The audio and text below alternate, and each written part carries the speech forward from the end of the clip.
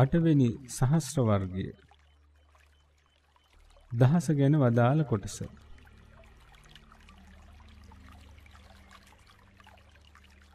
පළවෙනි ගාථාරත්නය. මෙලොවත් පරලොවත් අයහපතට හේතුවන වචන 1000ක් දෙඩුවත් කිසි වැඩක් නැහැ. ඒ වුණත් අර්ථවත් එකම එක වචනයක් අහලා ජීවිතය සංසිඳනවා නම් අන්නේ වචනේ තමයි උතුම්.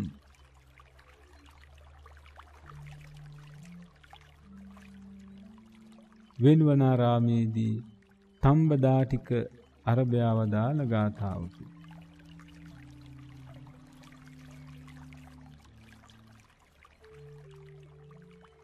දෙවන ගාථාරත්නය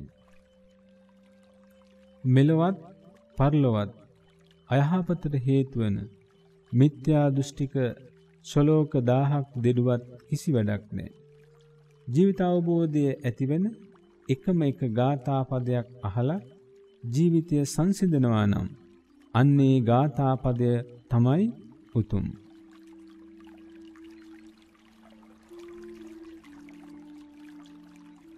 ජේතවනාරාමේදී දාරුචීරිය තෙරුන් අරබයා වදාළ ගාථාවකි.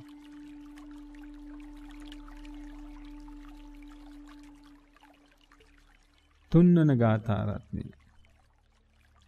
යම් කෙනෙක් මෙලොව පරලොව අයහපත ඇති කරවන ශලෝක 100ක් කිව්වත් වැඩක් නෑ යම් දහම් පදයක් අහලා ජීවිතය සංසිඳනවා නම් අන්නේ එකම දහම් පදය තමයි උතුම්.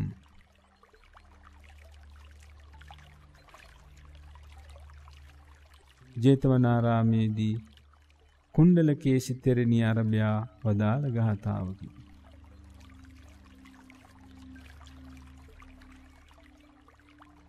හතරවන ගාථාරත්නය යම් කෙනෙක් යුද්ධ දාහක් කරලා දහස් ගණන් මිනිසුන්ව පරදවා ජයග්‍රහණය කළත් ඒක නියම ජයග්‍රහණයක් නොවේ.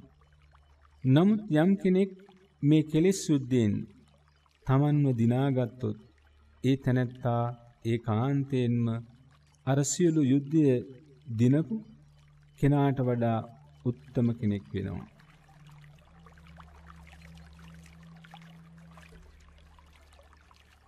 ජේතවනාරාමේදී කුණ්ඩලකේසි තෙරණිය අරබයා වදාළ ගාථාවකි.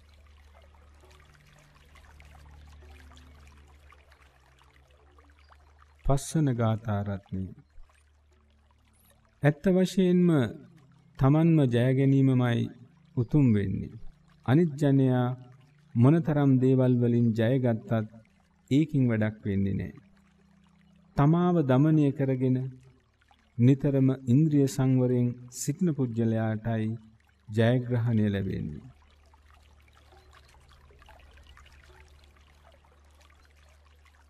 ජේතවනාරාමේදී එක්තරා බ්‍රාහ්මණෙක් අරබයා වදාළ ගාථාවකි.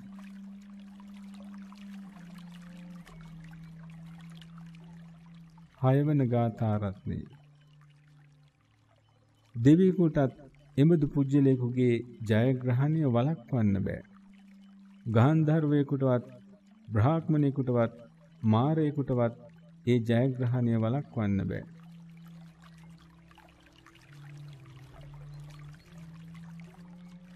ජේතවනාරාමේදී එක්තරා බ්‍රාහ්මණයෙක් අරබයා වදාළ ගාථාවකි.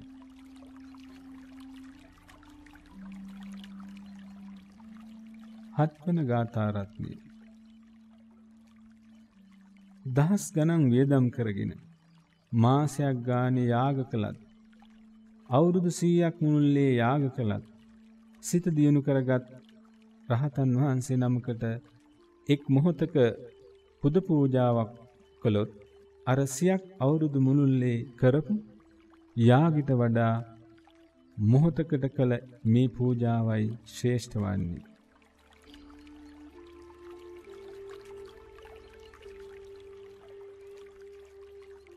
වෙල්වනාරාමේදී සරියුත් තෙරුන්ගේ මාමාරභ්‍යාව දාල ගාථාවකි.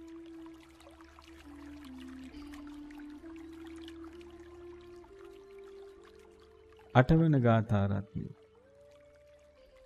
යම් පුජ්‍යලේ මහා වනයේක ඉඳගෙන සියක් අවුරුදු මුළුල්ලේ ගිනි පූජාවක් කර කර ඉන්නවාට වඩා සිත දිනු කරගත් එක රහතන් වහන්සේ නමකට මොහොතක් පුද පූජාවක් කළොත් අවුරුදු සියක් මුළුල්ලේ කරන අර ගිනි පූජාවට වඩා මොහොතකට කළ මේ පූජාවයි ශ්‍රේෂ්ඨ වන්නේ.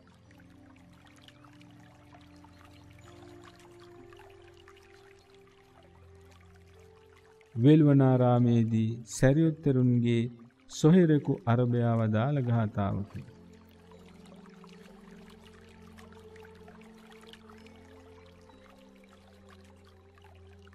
නවවන ගාථාරත්නි.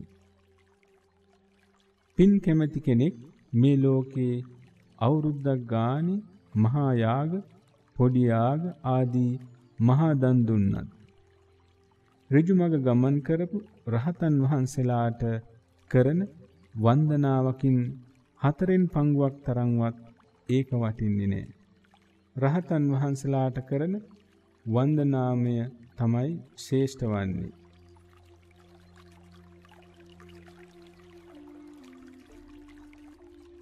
වේළුවනාරාමේදී සැරියුත් තෙරුන්ගේ යහළු බ්‍රාහ්මණයෙකු අරබයා වදාළ ගාථාවකි.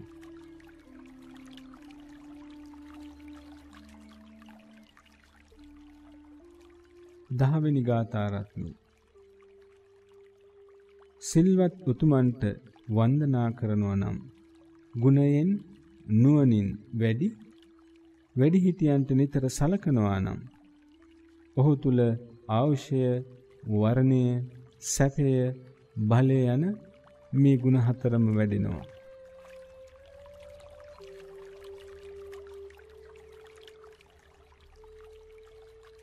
දීගලම්බක වනයේදී දීගායු කුමරු අරබයා වදාළ ගාථාවකි.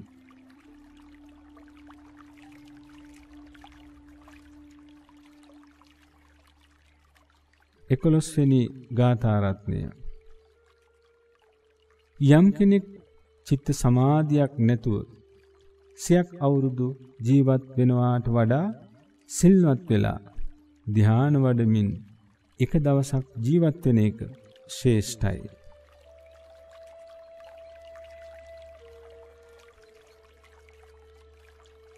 ජේතවනාරාමේදී සංකිච්ඡ සාමණේරයන් අරබයා වදාළ ගාථාවකි.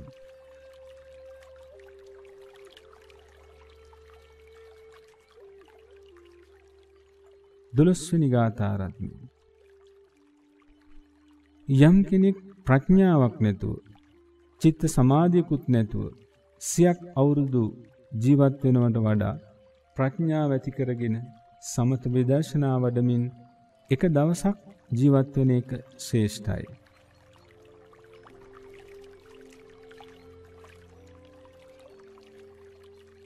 ජේතවනාරාමේදී බානු කොණ්ඩඤ්ඤ තෙරුන් අරබයාව දාල ගාතාවකි.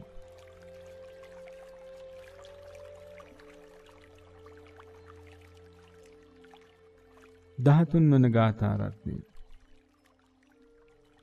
යම් කෙනෙක් නිවන් මාගේ හැසිරෙන්නට උත්සාහයක් නැතිව සමත විදර්ශනා වඩන්ට වීරයක් නැතුව අවුරුදු 100ක් ජීවත් වෙනවට වඩා දැඩි වීරියකින් යුතුව සමත විදර්ශනා වඩමින් එක දවසක් ජීවත් වෙන එක ශ්‍රේෂ්ඨයි.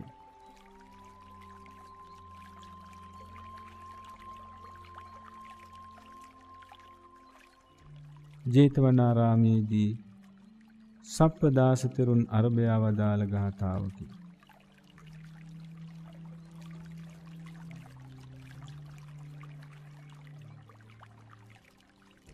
දාහතර වන ගාථාරත්නය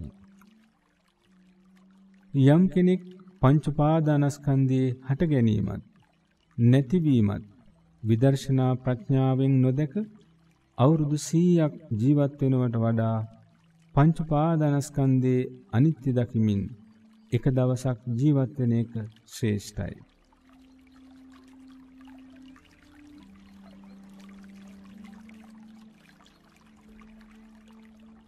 ජේතවනාරාමේදී පටාචාරා තෙරණිය අරබයාව දාල ගාතාවකි.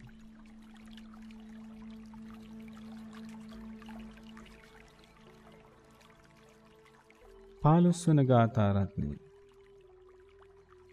යම් කෙනෙක් ඒ අමා නිවන අවබෝධ නොකොට සියක් අවුරුදු ජීවත් වෙනවට වඩා ඒ අමා නිවන අවබෝධ කරගෙන එක දවසක් ජීවත් වීම ශ්‍රේෂ්ඨයි.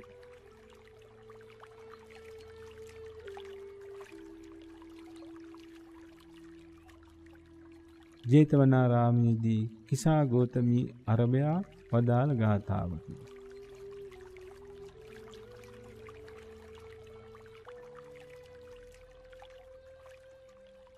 දාසවෙනි ගාථාරත්නය යම් කෙනෙක් මේ උතුම් ධර්මය අවබෝධ නොකොට අවුරුදු 100ක් ජීවත් වෙනවට වඩා මේ උතුම් ධර්මය අවබෝධ කරගෙන එක දවසක් ජීවත් වෙන එක ශ්‍රේෂ්ඨයි.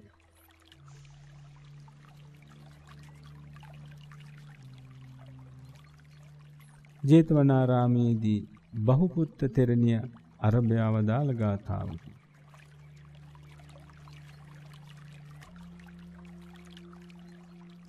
අටවෙනි සහස්‍ර වර්ගයේ නිමාවිය. දහස ගැන වදාළ කොටස නිමාවිය.